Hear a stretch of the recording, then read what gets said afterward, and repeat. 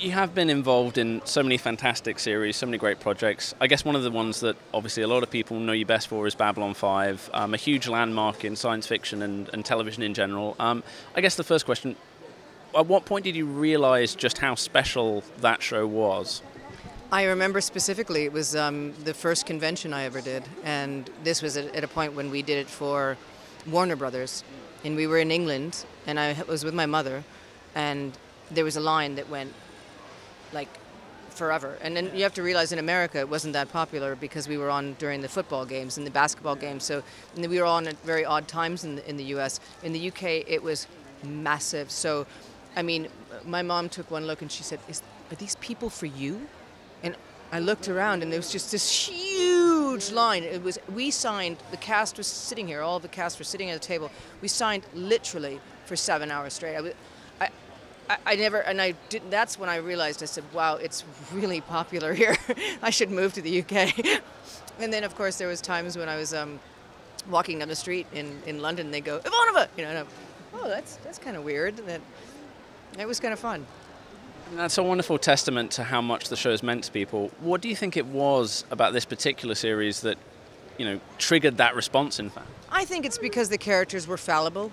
They were they were not perfect. They were um, very very human uh, in a way. They had problems. They had. Uh, emotional problems, they had addictions, they had um, physical problems. I mean, it was they, they weren't these heroes that saved the universe every week. So I think everybody could identify with one or more of the characters, and I think the writing was just extraordinary. So, I mean, they covered everything from sexuality to religion to mythology to everything. It was it was kind of a, the complete package. Great writing, great CGI before anybody else was doing CGI. Everyone was still using models, and, and we were, you know, sort of cutting edge. So I think it, I think it, it, the series stands up when you watch it now, it's still great writing is great writing. Great acting is great acting. You know, it's it's it doesn't go away. Whereas sometimes you look back at series, you go, "Ooh, wow, I used to watch that."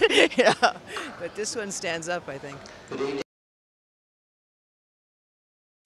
It's a fantastic series, and I think your character in particular is a fan favorite. What do you think it was about Ivanova that um, audiences responded especially well to? I just think she had a lot of great lines, and she was strong, and she was. Um, you know, uh, there was she was tough, but she was vulnerable. She had a lot of internal conflict. There was a lot of sides to her. Very Russian, but yet you know, stoic, but yet also you could see that she she really had a difficult time dealing with personal emotions. She was fallible as well. Know. Fans loved your character. Um, apart from your own, were there any other particular characters that you really identified with or were particularly uh, fond of, either working with or just watching? Well, G'Kar and Londo. Yeah, they were just a dream to watch.